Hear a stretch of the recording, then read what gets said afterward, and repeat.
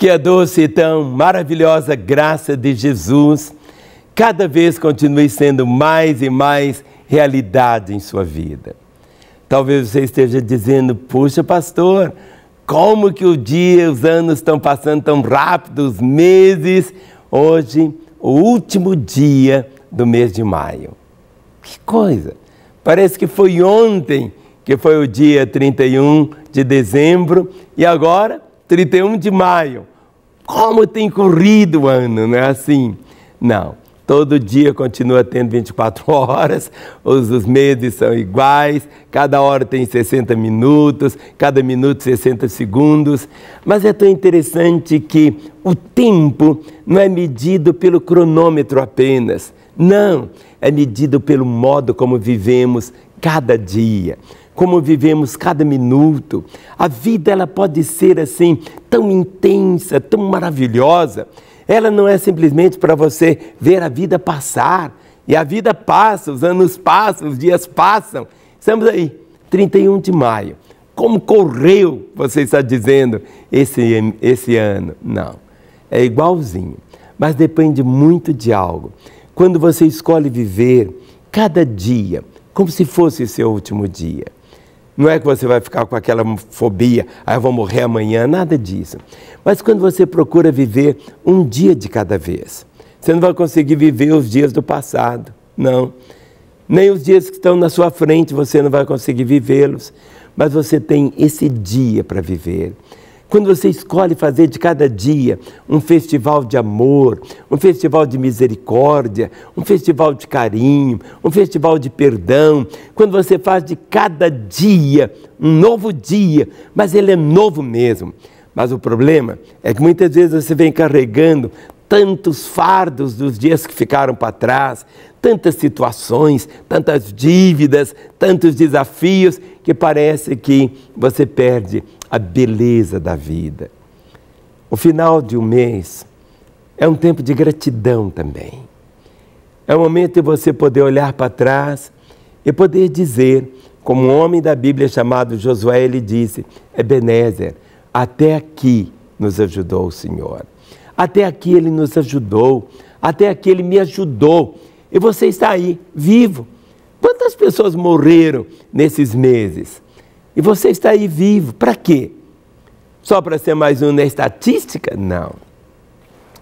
Deus tem te conservado com vida para que você o conheça mais e para que você desfrute de tudo o que Ele preparou para a sua vida. E Ele quer que você o conheça, Ele quer que você experimente o melhor que Ele tem. Mas é preciso você conhecer as Sagradas Escrituras. A Bíblia não contém a palavra de Deus, ela é a palavra de Deus. E eu quero ler para você o que está escrito na primeira carta de João, capítulo 1, a partir do versículo 5. Preste atenção. Diz assim: Ora, a mensagem que da parte dele temos ouvido e vos anunciamos é esta: que Deus é luz e não há nele treva nenhuma. Se dissermos que mantemos comunhão com Ele e andarmos nas trevas, mentimos e não praticamos a verdade. Se, porém, andarmos na luz, como Ele está na luz, mantemos comunhão uns com os outros, e o sangue de Jesus, seu Filho, nos purifica de todo pecado.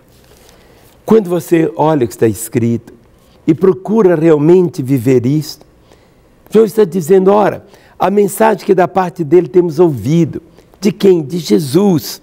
E vos anunciamos essa: que Deus é luz e não há nele treva nenhuma. Deus é luz, o diabo é trevas. Deus é amor, entende? Deus é vida, o diabo é morte. Quando você tem esse entendimento, Jesus Cristo disse: Eu vim para que tenham vida e a tenham em abundância. Mas o grande problema do homem é o problema intrínseco, é o problema da sua natureza pecaminosa. O homem peca é porque ele é pecador. Ele não é pecador porque peca, ele peca porque ele é pecador. É como o limoeiro. O limoeiro produz limão por quê? Porque ele é limoeiro.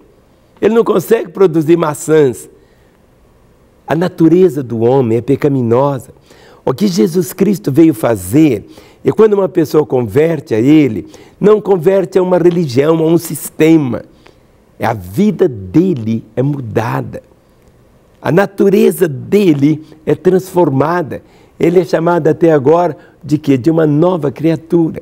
Por isso diz assim: Deus é luz e não há nele treva nenhuma não há nele treva nenhuma, não há sombra alguma, há transparência. Quando você lê as Escrituras, você vai conhecendo Deus. Aqui está o espelho para você ver Deus. Deus é amor. E quando você começa a ter esse entendimento, por isso ele diz: se dissermos que temos comunhão com Ele e andamos nas trevas, mentimos e não praticamos a verdade. A fé cristã não é uma religião, é um relacionamento com Deus. E é um relacionamento não no domingo, é um relacionamento domingo, segunda, terça, quarta, quinta, sexta, sábado, todos os dias, às 24 horas. Aí você diz, mas pastor, se eu for viver assim, eu não vou sair da igreja. Não é isto. Tudo que você fizer, deve fazer para a glória de Deus. Não há um momento sequer que você deve desligar dele. Pelo contrário. Pecado é isso, é que desliga você de Deus mas quando você está caminhando com Ele. Por isso ele diz: se andarmos na luz, como Ele está na luz, mantemos comunhão uns com os outros e o sangue de Jesus, o seu Filho, nos purifica de todo pecado. Ele nunca vai nos pedir para fazer algo sabendo que nós somos impotentes para fazer. Não. Se andarmos na luz como Ele está na luz. Em outras palavras, está dizendo: você pode andar na luz como eu ando na luz. A luz é a transparência. A luz é o próprio Jesus. Jesus Cristo disse: Eu sou a luz.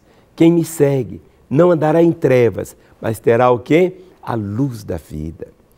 A luz, se andarmos na luz, como Ele está na luz, mantemos comunhão uns com os outros e o sangue de Jesus, seu Filho, nos purifica de todo pecado.